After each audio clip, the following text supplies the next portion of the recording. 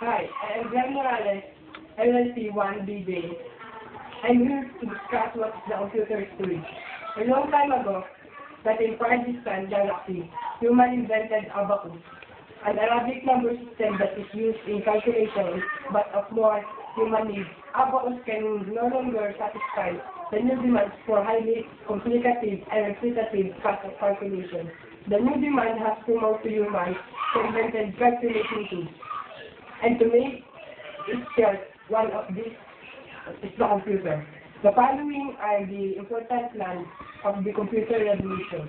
In 1939, a German engineer Konrad Zuse to the first general purpose of computer, and the American professor John, John Atanasoff, the state of college, now university, invented the electronic computer called ABC computer, or the Atanasoff-Berry computer. In 1940s, Harvard University invented the automatic general purpose called Mark I. In turn was financed the IBM, John Mauchly and Prosper Eckert invented the electronic numerical integrator and the computer is, or the ENIAC that was used in World War II to calculate the trajectory tables of the new guns. When the World War II was over, Mauchly and Eckert developed developed the UNIVAC, the first general purpose commercial computer. This was by the U.S. Census Bureau in 1951. The UNIVAC 1 was considered the first generation computer that was built using vacuum. In 1948, the three physicists at Bell Laboratories, J. Bardeen and Shockley, invented the transistor that could perform accomplish the same function like the vacuum tube. The transistors were first used to build computers in 1950. This is the beginning of the computer's second generation. In 1960s, transistor-based computers were replaced by smaller concept of IC, or integrated circuit, a technology that integrates hundreds of transistors in one single tiny similar chip. In 1969, the first microprocessor, the brain of the computer, was first invented. This invention was considered the beginning of the fourth generation computers. In 1970, Apple, SanDisk, and Commodore computer companies have introduced the first first class computers that are considered the most powerful as many room size computer in early 1950s and 1960s. Now we are to see today system unit.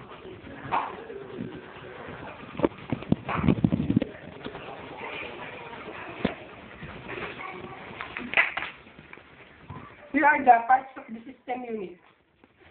Here are the IDE that is used to connect to the computer. The power supply a power changes normal household electricity into into electric electric eh, computer can use. The motherboard. This is the motherboard. The motherboard is the main circuit board of a microcomputer. It is also known as the main board or system board.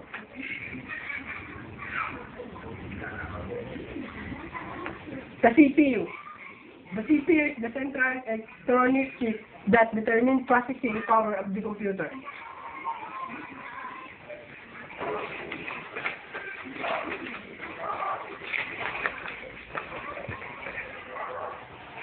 The expansion, the expansion card. This can be replaced the video card, LAN card, and etc. Here are the in the left side the hard disk drive.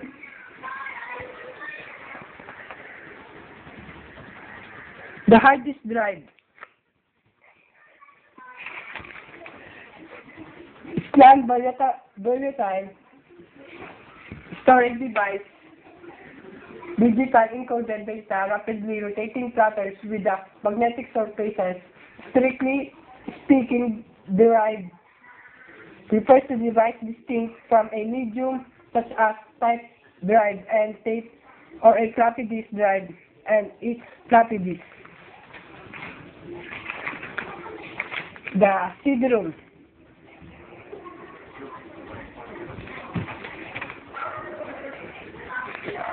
The CD-ROM is, used to to used to locate the CD to watch videos to hear sounds in a computer computer screen.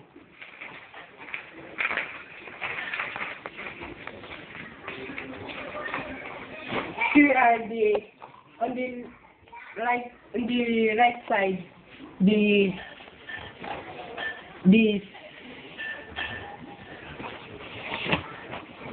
the extra face pan.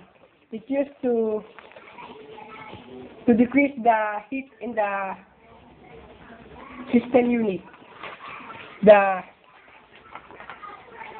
the mouse port and the keyboard port. The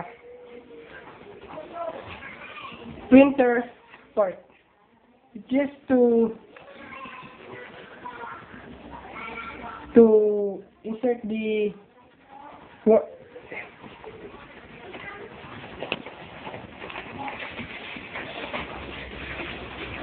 and the inside the the ribbon the ribbon cable or the IDE the power cord power cords and so on. Now this is the end of my discussion and Glenn Morales and thank you at all. Goodbye